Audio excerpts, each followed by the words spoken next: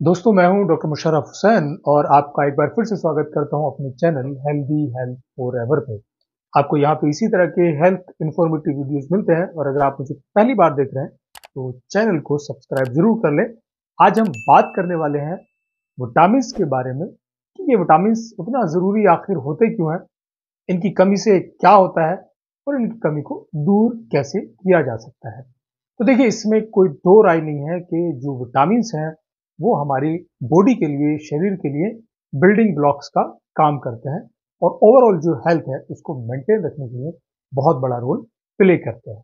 अब चाहे वो आपके इम्यून सिस्टम को स्ट्रॉन्ग करने की बात हो, चाहे आपकी हड्डियों को मज़बूत करने की बात हो और चाहे आपको बहुत सारी बीमारियों से बचाए रखने की बात हो, इस वीडियो हम यही बात करेंगे कि कौन से विटामिन से आपको किस तरह के लक्षण आते हैं, जब उसकी कमी हो जाती है और अगर आपको देखिए लक्षण आने लगे तो अब उसकी कमी को दूर करना भी बहुत ज़रूरी होगा। तो उसकी कमी को दूर करने के लिए आपको कौन कौन से भोजन या सप्लीमेंट्स या फ्रूट्स या वेजिटेबल्स लेने की ज़रूरत पड़ती है सो so दैट आप अपने आप को उस बीमारी से बचा के रख सकें। तो शुरुआत करते हैं ए से, यानी कि विटामिन ए विटामिन ए हमारे शरीर के लिए एक ज़रूरी विटामिन है, और अगर विटामिन ए की कमी हो जाती है तो आपको सबसे पहला जो लक्षण वो आएगा वो होगा ड्राइनेस ड्राई स्किन आपकी जो ये कोहनी है यहाँ पे व्हाइटनेस दिखने लगेगी और ये ड्राई रहने लगेगा।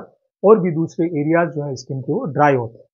उसके साथ साथ आपको शाम के समय हो सकता है धुंधला दिखाई देने लगे, जिसको नाइट ब्लाइंडनेस कहते हैं। बात आती है कि भी इसको पूरा कैसे करें? तो विटामिन ए का जो सबसे अच्छा सोर्स होता है, वो होता है कैरेट गाजर में विटामिन ए काफ़ी मात्रा में पाया जाता है। दूध के अंदर भी विटामिन ए होता है। दूसरा होता है विटामिन बी। इसके अंदर कई सारे विटामिन होते हैं, vitamin B one, two, three, four, five, six. अगर आपको विटामिन बी की कमी होने लगती है, विटामिन बी वन की खास तौर से तो आपको थकावट रहने लगती है, आपकी नर्व कमज़ोर हो जाती है, यहाँ तक कि नर्व डैमेज भी हो सकती है और उसके साथ साथ आपके शरीर में कमज़ोरी आने लगती है। विटामिन बी वन की कमी को पूरा कैसे किया जाए? तो देखिए, उसके जो सोर्स होते हैं, वो वोल ग्रेन साबुत अनाज जो है तो फलीदार सब्ज़ियाँ होती है लेग्यूम जो होते हैं, उनके अंदर तो पोल्ट्री या जो सी फूड्स हैं, उनका भी आप इस्तेमाल कर सकते हैं विटामिन बी वन की कमी को पूरा करने के लिए। अगर विटामिन बी टू की कमी होती है तो एक तो आपको स्किन ड्राई होती है, आपके जो माउथ एंगल है क्या मुँह आना, मुँह में छाले आना, ये सारी लक्षण आपको आने लगते हैं। ज़ुबान पे छाले आ सकते हैं, मुँह के अंदर छाले आ सकते हैं स्किन पे रैशेज आ सकते हैं, आपके लिप्स पे छाले निकल सकते हैं। तो ये सारे जो लक्षण है, वो विटामिन बी टू की कमी से होते हैं। तीसरा विटामिन बी थ्री होता है। विटामिन बी थ्री की कमी से आपको पैलेग्रा जो एक ग्रुप ऑफ़ सिम्टम्स होते हैं, जैसे स्किन पे आपको रैश आ जाएँगे जल्दी जल्दी आपको डायरिया होगा, आपको भूलने की दिक्कत हो जाएगी डिमेंशिया हो सकता है, और आपका जो इम्यून फ़ंक्शन है, वो कमज़ोर हो जाएगा। ये सारे जो लक्षण है, वो विटामिन बी थ्री की कमी से आते हैं। बाकी जो विटामिन होते हैं vitamin B five B six ये ये भी इन्हीं सोर्सेज से आपको मिल जाते हैं। उसके अलावा विटामिन बी ट्वेल्व भी होता है। Vitamin B twelve generally non veg भोजन में ज़्यादा पाया जाता है रेड मीट में मिलता है फ़िश से मिलता है तो या पोल्ट्री वगैरह से काफ़ी अच्छी मात्रा में विटामिन बी ट्वेल्व मिलता है, लेकिन कुछ सब्ज़ियाँ भी होती हैं, जैसे कैबेज हो गया या पालक हो गया, इनके अंदर भी आपको विटामिन बी ट्वेल्व मिल सकता है। विटामिन बी ट्वेल्व की कमी से भी आपको नर्व डैमेज हो सकता है डिमेंशिया हो सकता है, भूलने की बीमारी हो सकती है। तो अगर आपके लक्षण आते हैं तो आप पहचान लें कि आपको विटामिन बी की कमी हो गई है या ग्रुप ऑफ़ विटामिन बी की कमी हो गई है।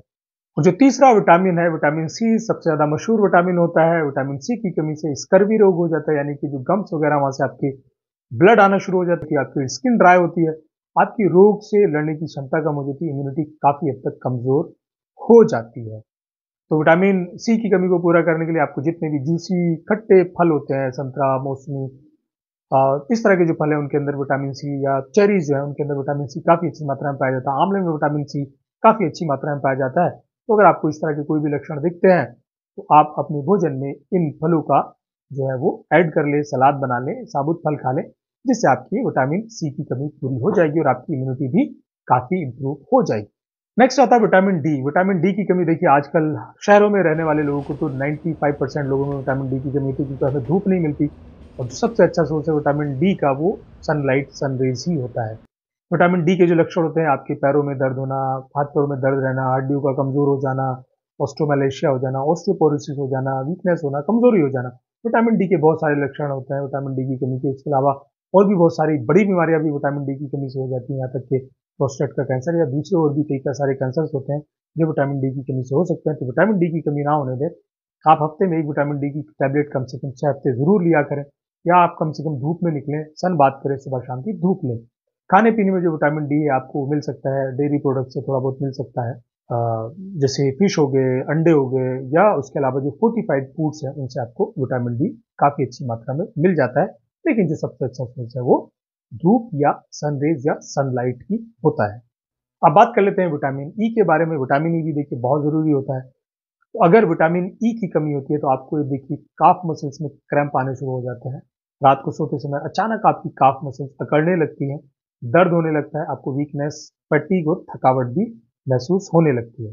विटामिन ई e भी आपको जो है, वो डेयरी प्रोडक्ट से मिलता है और सी फ़ूड से मिलता है। सी कोड लीवर आयल इन सबसे आपको विटामिन डी और विटामिन ई e दोनों काफ़ी अच्छी मात्रा में मिल जाते हैं। आपको नट्स का इस्तेमाल अगर आप ज़्यादा से ज़्यादा करेंगे आलमंड्स अगर खाएँगे, आप वालनट्स लेंगे पीनट्स का आप इस्तेमाल करेंगे ग्रीन लीफी वेजिटेबल्स ज़्यादा खाएँगे फ़िश खाएँगे मीट खाएँगे तो आपकी विटामिन ई e की कमी पूरी हो जाएगी। अगर फिर भी कमी नहीं पूरी होती है तो इसका कैप्सूल भी आते हैं। आप विटामिन ई का कैप्सूल भी डॉक्टर की सलाह से ले सकते हैं। एक और विटामिन होता है, जिसको विटामिन के कहते हैं। विटामिन के जनरली क्या काम करता है कि जो खून है, उसको बहने से रोकता है। जैसे आपको अगर चोट लगती है, अगर विटामिन के की कमी होगी तो खून नहीं रुकेगा, वो बहता रहेगा, जैसे हीमोफिलिया के पेशेंट होते हैं। ऐसी कंडीशन में अगर किसी का एक्सीडेंट हो जाए और उसको विटामिन के की कमी हो तो खून लॉस बहुत ज़्यादा हो सकता है, जिसकी वजह से डेथ भी हो सकती है। ये आपको मिल सकता है ग्रीन लिफी वेजिटेबल से मिल सकता है, पालक के अंदर भी विटामिन के पाया जाता है, कैबेज, लेट्यूस, इन सारी चीज़ों में विटामिन के अच्छी मात्रा में पाया जाता है। और सोयाबीन और कनाला ऑयल जो है वो विटामिन के के काफ़ी अच्छे सोर्स माने जाते हैं तो आप इनको अपने भोजन में इस्तेमाल करना शुरू कर दें, जिससे आपकी विटामिन के की कमी पूरी हो जाए। तो देखिए फॉर्मूला यही है कि आपकी जो डाइट है वो बैलेंस होनी चाहिए, और आप डेली अपने किचन में इन सब फ्रूट्स को, आपकी प्लेट जो है वो हरी भरी भरी रंग बिरंगी दिखनी चाहिए उसके अंदर टमाटर भी हो, उसके अंदर हरी सब्ज़ियाँ भी हो, उसके अंदर देखिए, अगर आप नॉन वेज हो तो नॉन वेज आइटम्स भी हो डेयरी प्रोडक्ट्स भी हो। तो आप अगर एक बैलेंस डाइट लेके चलेंगे तो आपको विटामिन की कमी नहीं होगी। इन सारे सब्जियों को, फलों को, अनाजों को अपने भोजन में शामिल करें। तो इस तरह से आप कभी भी विटामिन की कमी को नहीं होने देंगे। मुझे उम्मीद है आपको वीडियो अच्छा लगा होगा। अगर बाकी ये वीडियो आपको अच्छा लगा हो तो इसको लाइक करें शेयर करें और बेल आइकन का बटन ज़रूर दबा लें और सब्सक्राइब करना बिल्कुल ना भूलें। अगर आपने मुझे अभी तक सब्सक्राइब नहीं किया थैंक यू धन्यवाद।